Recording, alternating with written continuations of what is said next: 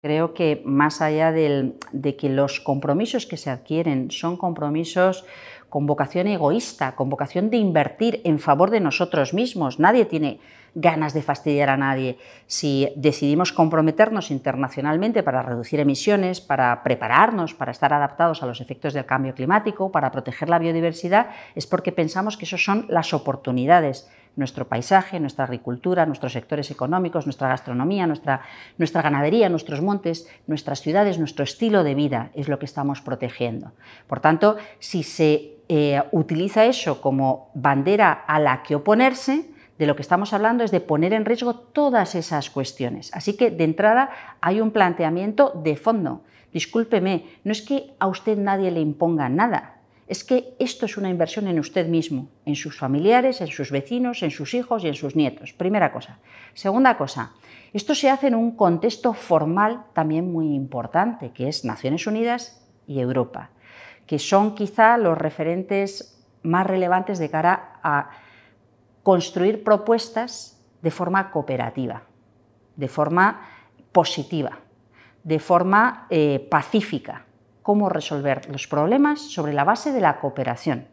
Usted lo que me está queriendo decir es que renuncia a la cooperación, al análisis compartido de problemas, a resolverlos conjuntamente. Me está queriendo decir que usted lo que asume es el conflicto, que usted lo que asume es que pretenderá imponer por la fuerza sus propios criterios, que prescinde del resto de la comunidad internacional, que prescinde de los fondos europeos, que prescinde de la manera de resolver los problemas que hemos tenido en Europa, que prescinde de lo que ha sido la idea de Europa, que en España representa progreso crecimiento económico, oportunidades para los jóvenes, oportunidades para el campo. O sea que me parece que tanto de fondo como de forma son planteamientos eh, enormemente, enormemente regresivos y enormemente peligrosos. Y quizá el otro elemento que resulta sorprendente es la tranquilidad con la que se dice.